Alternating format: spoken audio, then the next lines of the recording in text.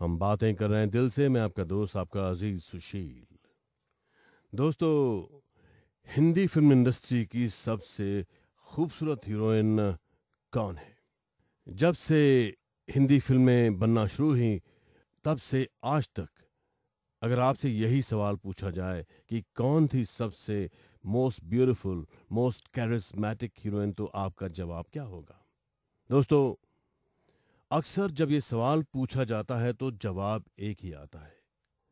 سبھی ایک ہی جواب دیتے ہیں اور وہ ہے کہ سب سے خوبصورت، سب سے کیرزمیٹک ہندی فلم ہیروئن ہے مدھو بالا دوستو، ہم جانتے ہیں کہ مدھو بالا کی خوبصورتی، اس کا حسن، لفظوں کے بندھن میں نہیں بن سکتا۔ یہ بھی سچ ہے کہ مدھو بالا کی خوبصورتی دیکھنے کی چیز ہے، سننے کی نہیں۔ لیکن ہم یہ بھی جانتے ہیں کہ مدھو بالا کی تصویر ہر کسی کے دل میں ہمیشہ ہمیشہ کے لیے بس گئی ہے۔ اسی تصویر کو آپ ایک بار پھر نظر کے سامنے لے آئیے اور سنتے جائیے۔ مدھو بالا کی یادیں اور ان پہ پکچرائز کیے گئے یہ گیت۔ ہم باتیں کر رہے ہیں دل سے، میں آپ کا دوست، آپ کا عزیز سشیل۔ دوستو، اگر آپ سے یہ پوچھا جائے کہ ہندی فلم انڈسٹری کی آپ کی سب سے فیوریٹ ہیروئن کون ہے، تو آپ کا جواب شاید الگ ہو، لیکن اگر آپ سے یہ پوچھا جائے کہ ہندی فلم انڈسٹری کی سب سے زیادہ خوبصورت اور سب سے زیادہ کیرسمیٹک ہیروئن کون تھی یا کون ہے تو آپ کا جواب شاید یہی ہوگا کہ سب سے خوبصورت اور سب سے کیرسمیٹک ہیروئن ہے مدھو بالا۔ دوستو، جیسا کہ آپ سب جانتے ہیں، مدھو بالا نے اپنے کریئر کی شروعات ایک چائلڈ آرٹسٹ کی حیثیت سے کی تھی۔ بیبی ممتاز کے نام سے انہوں نے چھ فلموں میں کام کیا۔ ان کی سب سے پہلی فلم تھی بامبے ٹاکیز کی فلم بسنت۔ یہ فلم ریلیز ہوئی تھی twenty ninth July nineteen forty two کو۔ مدھوبالا اس سمے نو سال کی تھی۔ ایز اے ہیروئن انہوں نے پہلی فلم کی نائنٹین فورٹی سیون میں جب وہ کیول چودہ سال کی تھی، فلم تھی نیل کمل اور اس فلم کے ہیرو تھے راج کپور۔ لیکن مدھوبالا کو بہت بڑی سفلتا ملی ایک ایسی فلم سے جو نائنٹین فورٹی نائن میں بامبے ٹاکیز نے بنائی تھی اور ریلیز کی تھی، اس فلم کا نام محل۔ محل اس فلم نے مدھو بالا کو ایک بہت بڑی ہیروئن بنا دیا، بہت بڑی سٹار بنا دیا۔ اس فلم میں مسٹری تھی، ایک راز تھا۔ اس فلم کا ہر فریم مسٹری سے بھرا ہوا تھا، راز سے بھرا ہوا تھا۔ اور راز میں بھی خوبصورتی ہو سکتی ہے، رہسیہ میں بھی حسن ہو سکتا ہے۔ اس بات کا احساس لوگوں کو پہلی بار ہوا، یہ فلم دیکھ کر اور اس فلم میں مدھوبالا کو دیکھ کر۔ مدھوبالا محل سے ایک بہت بڑی سٹار بن گئی۔ ہم باتیں کر رہے ہیں دل سے، میں آپ کا دوست، آپ کا عزیز سشیل۔ دوستو، نائنٹین فورٹی نائن یہ سال مدھوبالا کے کریئر میں بہت بڑی اہمیت رکھتا ہے۔ کمال امروہی کی محل کے علاوہ سوراب مودی کی دولت، کیدار شرما کی نیکی اور بدی، اے آر کردار کی دلاری اور یشونت پیٹکر کی اپرادھی جیسی فلمیں مدھو بالا نے اسی سال کی، نائنٹین فورٹی نائن میں۔ ایک ہی سال میں نو فلمیں اور وہ بھی اتنے نامچین ڈائریکٹرز کے ساتھ۔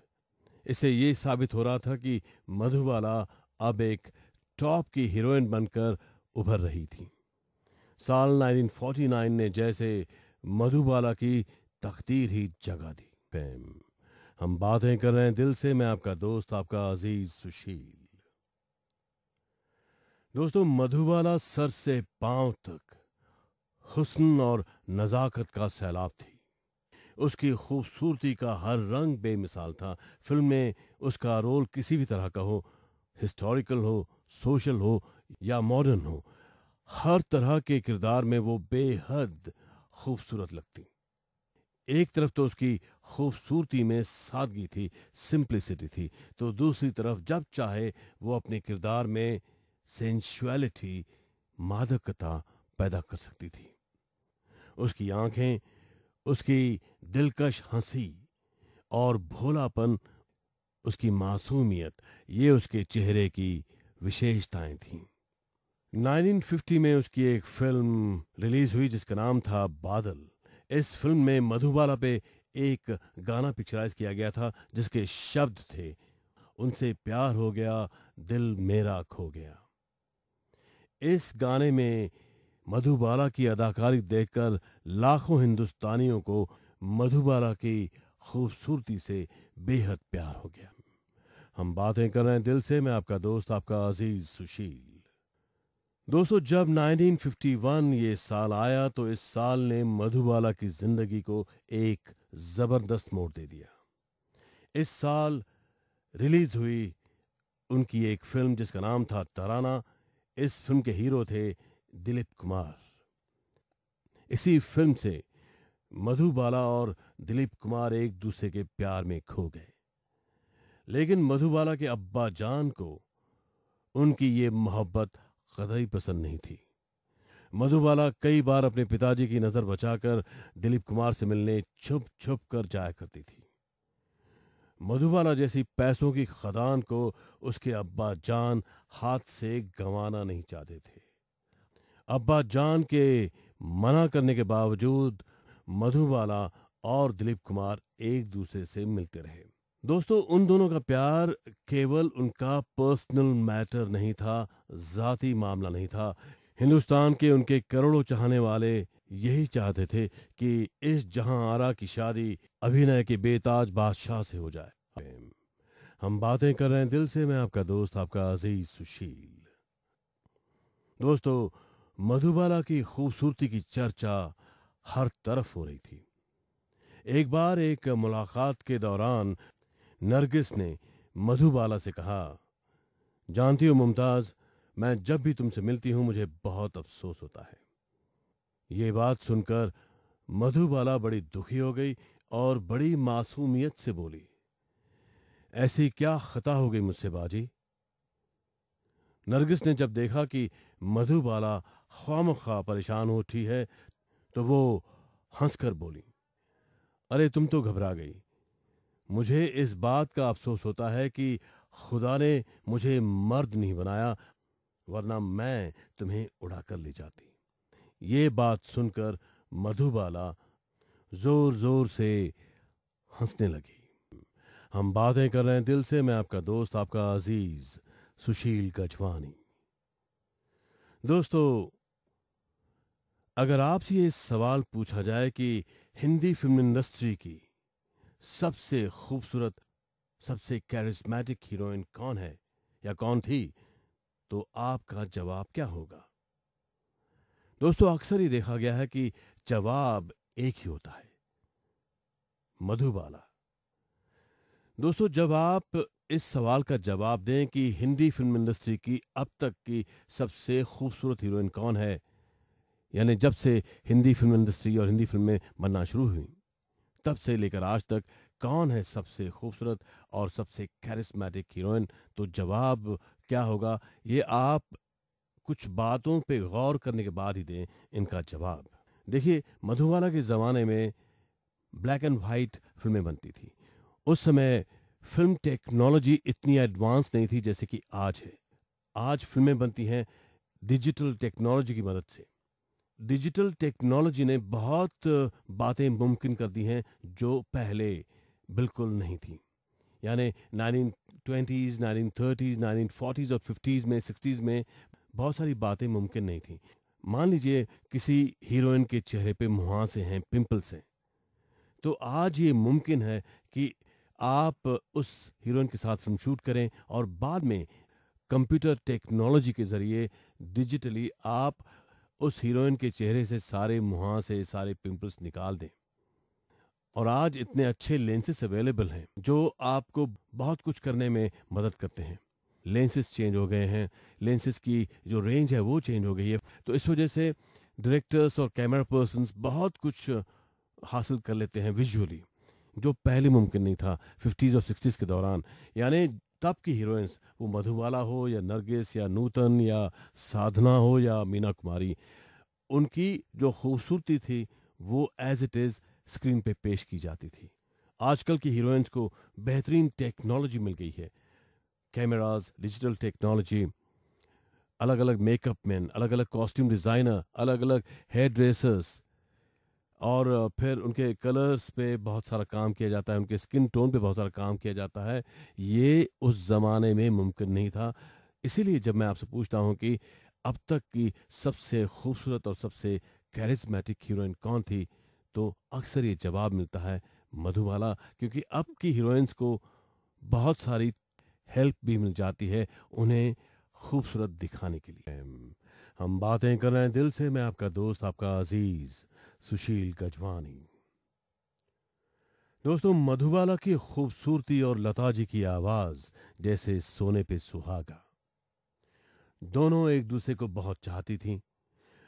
مدھوبالا تو کئی بار فلم کا کانٹریکٹ سائن کرتے سمے ہی پروڈیوسر کے سامنے یہ شرط رکھتی تھی کہ اس کی پلے بیک کے لیے لتا جی کی آواز ہی استعمال کی جائے گی۔ کیا ہم اسے محض اتفاق سمجھیں گے کہ یہ دونوں ایک ہی دور میں پیدا ہوئیں؟ کیا یہ بھی اتفاق ہی مانا جائے گا کہ دونوں کی کریئر کی شروعات نائنٹین فورٹی نائن میں ہی ہوئی؟ دوستو، کچھ باتیں ایسی ہوتی ہیں جن کو سمجھ پانا بہت مشکل ہوتا ہے۔ کچھ باتیں راز رہیں تو اور بھی زیادہ خوبصورت ہو جاتی ہیں۔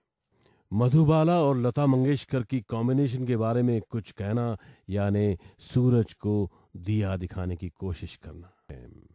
ہم باتیں کر رہے ہیں دل سے، آپ کے دل کی گہرائیوں سے۔ میں آپ کا دوست، آپ کا عزیز سشیل۔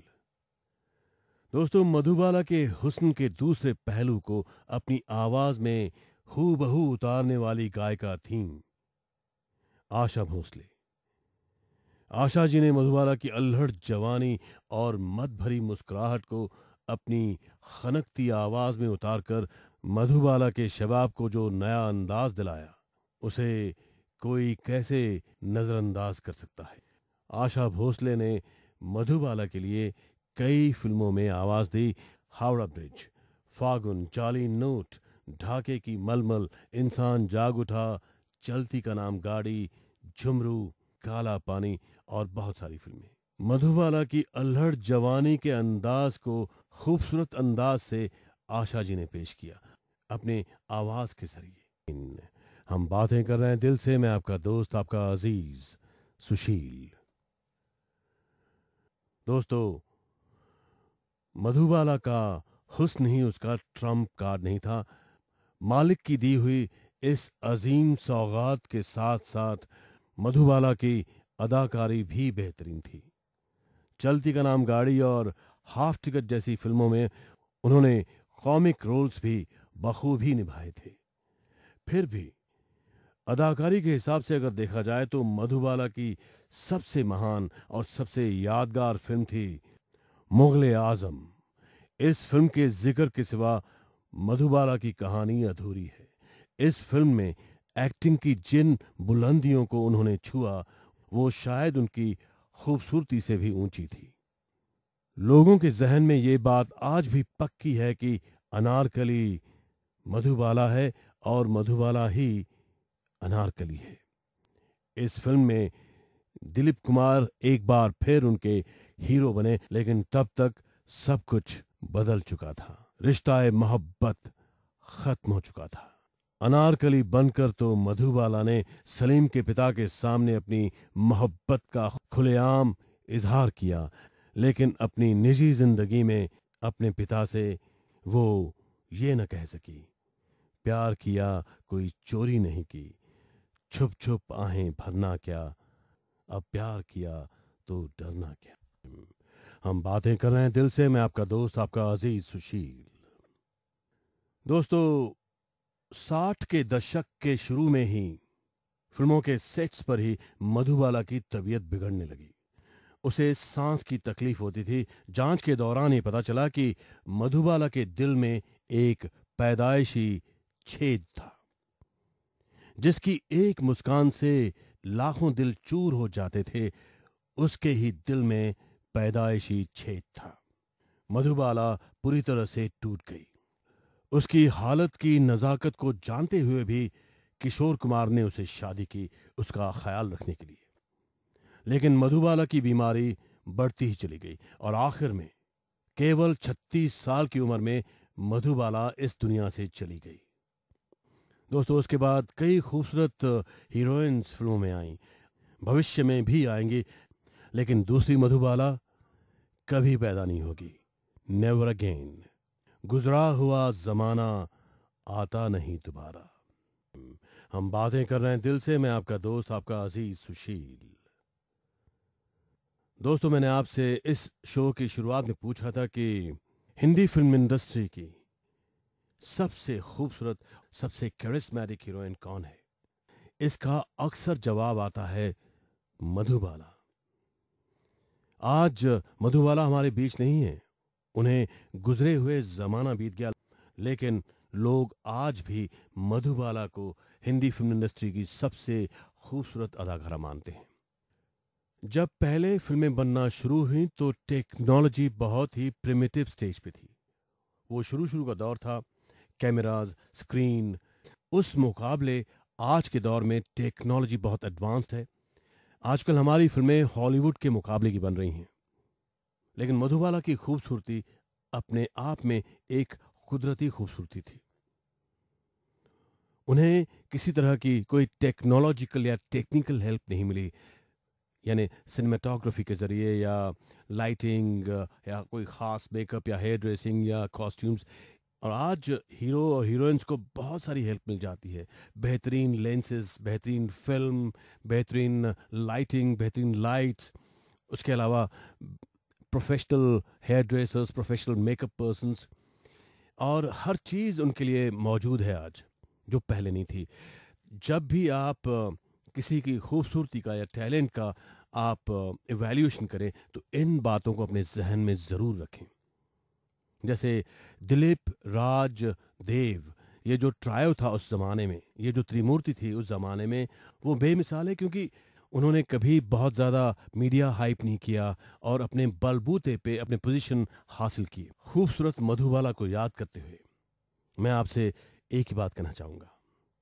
ہمیشہ اپنے دل کی بات سنو، کیونکہ دل آخر دل ہے، دل آپ کا آئینہ ہے۔ اپنے دوست، اپنے عزیز سشیل گجوانی کو اجازت دیجیے۔ گڈ نائٹ، شبھ راتری شبہ خیر۔